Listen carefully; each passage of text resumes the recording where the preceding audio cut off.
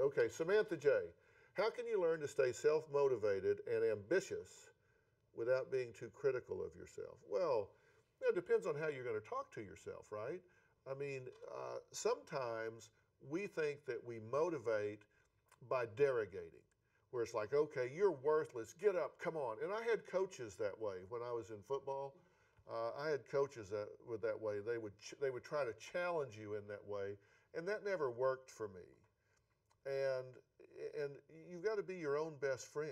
And I think for every thought you have, there's a physiological event that goes along with it. And if the thought you have is you're worthless, you're no good, come on, get up and do something different.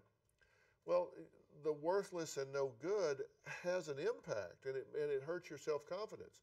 As opposed to saying, look, you're better than what you're doing. You deserve to have a, a, a great life. You deserve to have a, a raise or a better job or a better life. So claim that. Get up. Be the best that you can be.